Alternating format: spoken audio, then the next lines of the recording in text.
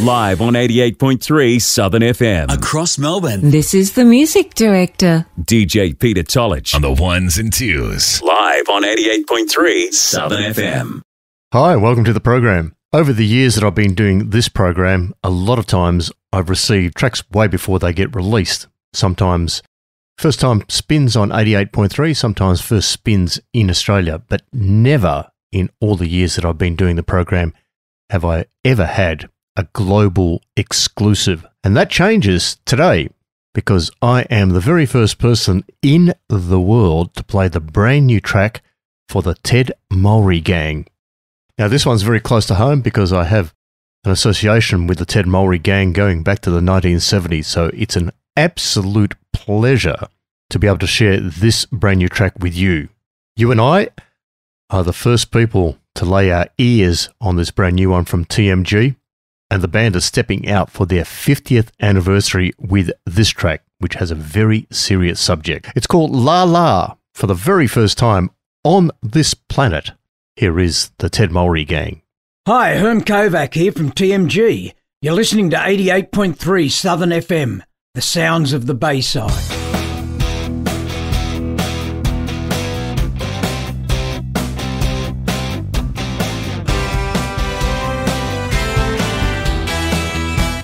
88.3 Southern FM, you have just heard the brand new one from Ted Mulry and his gang for the very first time. Way before you hear it on YouTube, way before you see it on Spotify, for the very first time on 88.3 Southern FM and anywhere on the planet. TMG in their original format, minus Ted, of course, who he lost sadly in 2001, but with the inclusion of his brother Steve on lead vocals and a good mate of theirs, Tony Mitchell, who used to be in the band Sherbet in the 1970s. He's joined the band to play bass guitar. La La is the track. It'll be available worldwide on your streamers later on this week, and you should hear it across all our major Aussie programs here at Southern FM. Song was written by Les Hall, who is one of the founding members of TMG, and the song came to Les after watching a TV series about drug cartels in Colombia and Mexico and the fallout of what happens in that sad situation. La La on your digital service provider later on in the week.